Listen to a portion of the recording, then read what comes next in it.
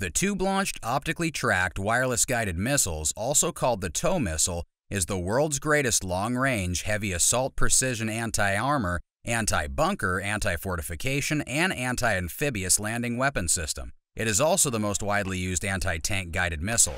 The TOW missile provides ground troops with an advantage over the opposing armored and wheeled vehicles regardless of the terrain or conditions. It is critical and has complementing capability in layered ground force defense, delivering dependable and precise anti-armor attack in highly disputed areas.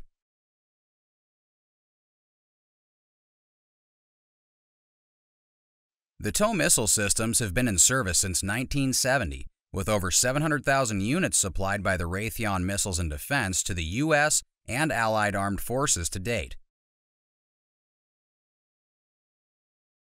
TOW-2A or BGM-71E missiles which commenced manufacturing in 1987, have delivered more than 118,000 units.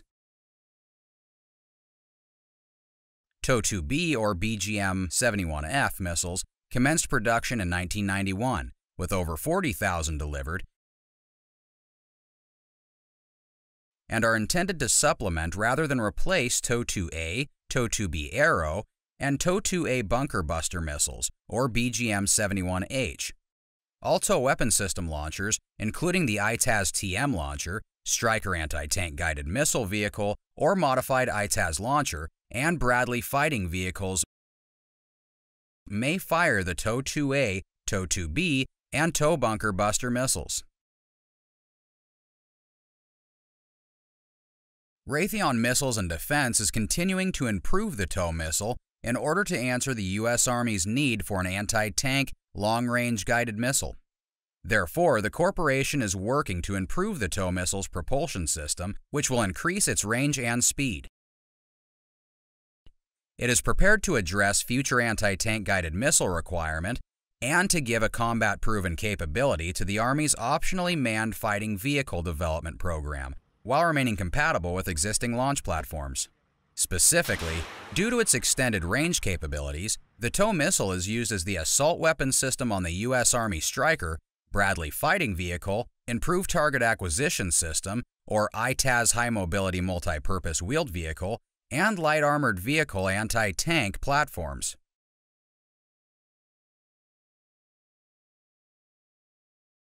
The TOW missile is also the favored heavy assault and anti-armor weapons system for NATO coalition, UN, and peacekeeping missions across the world. So how does the TOW missile work? Besides the main assembly, there is a separate fire control system or FCS module that does all guiding calculations for the TOW missile, as well as a battery pack to power the system. The TOW missile is powered by two-stage Alliant Techsystems or ATK solid propellant rocket engine, while the Chandler Evans CACS-2 control system utilizes differential piston actuators. Guidance signals from the guidance computer are transferred over two wires that spool from the back of the missile to the missile's control system.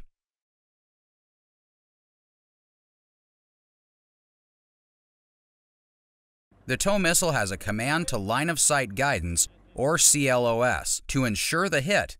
The CLOS system solely needs the angular coordinates between the missile and the target. Since the TOW missile is designed to be in the line of sight between the launcher and the target, and any deviation from this line is adjusted. The TOW missile operator views a spot on the target using the telescopic sight before firing the missile. Through this sight, the operator continues to watch and follow the target. When the target is sighted and the trigger is pulled, there is a 1.5 second firing delay as the TOW missile spins up its internal gyroscope and the thermal battery achieves working temperature. After this, the launch motor fires via the rear nozzle, driving the missile out of the tube. This soft launch motor operates for only 0.05 seconds and burns out before the missile exits the tube.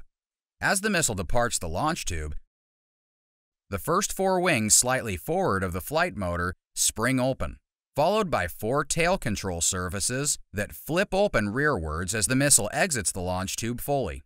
The flight motor ignites when the wings fully extend at about 23 feet from the launcher, increasing the missile's speed to around 600 miles per hour through its burn period. At 0.18 seconds after launch, the warhead is enhanced by g-forces from the flight motor's acceleration, a safety mechanism designed to protect the operator in case of the failure of the flight motor to ignite. The missile glides for the rest of its flight duration after the flight motor burns out 1.6 seconds after launch. The missile is outfitted with a high-intensity thermal beacon that serves as a long-wave infrared tracking source, as well as a xenon beacon that serves as a short-wave tracking source. This dual tracking device is resistant to electro-optical and infrared countermeasures. Once the tracker notices the missile, IR sensors bore-sighted to the daylight tracker keeps to monitoring the position of an IR beacon on the missile's tail relative to the line of sight, with the FCS generating course correction sent to the missile's integral flight control unit via the command link. The missile then uses its control surface actuators to adjust its flight course. If the missile fails to hit a target, the command wires are automatically terminated at 3,000 meters on the original tow and 3,750 meters on most current production tows. If the tracker fails to identify the missile's thermal beacon within 1.85 seconds after launch, the line is severed automatically. In terms of launch platforms, The TOW missile can be deployed from the ground using a tripod-mounted launch tube, or they can be placed on vehicles. On military vehicles, the system can be installed as a single-tube pedestal mount or as two or four-tube under armor systems. On vehicles such as the Enhanced Tow Vehicle M901, Desert Warrior, Piranha, the U.S. Marine Corps' LAV, Dardo Hitfist, and Bradley M2 M3. In its basic infantry configuration, the TOW can also play a role on a mandatory daylight tracker unit, which can be supplemented with an optional AN TAS-4 or AN TAS-4A gas-cooled night sight, or an all-in-one tracker unit on the M41 ITAS version. Over 40 worldwide military forces have deployed the tow weapon systems, which are integrated on more than 15,000 ground, vehicle, and helicopter platforms. The tow installed on helicopters is called the airborne tow, which is used by at least 13 nations with more than 2,100 units supplied. Some helicopters equipped with the tow missile include the AgustaWestland Lynx, AgustaWestland A129, Bell Textron 206L, UH-1 Huey, Hughes 500MD helicopter, Eurocopter Bo 105, and Bell Textron AH-1 Cobra attack helicopter. The U.S. Army qualification tests have confirmed upgrades and enhancements to the TOW system's top-down assault capabilities, its operational efficacy, as well as personal safety and survivability.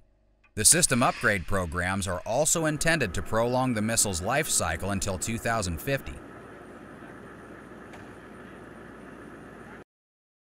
As a part of the update programs, the Raytheon launched the TOW Eagle Fire launcher in October 2015 for shooting wire-guided and wireless radio frequency missiles. The TOW Eagle Fire launcher, with improved target acquisitions and engagement, is fueled by lithium ion, allowing for 9 hours of silent watch. Ergonomic hand grips integrated day and night vision with ranged finding feature and built-in test capabilities are among the other structural and technical enhancements. That's all for today. Thanks for watching and see you next time.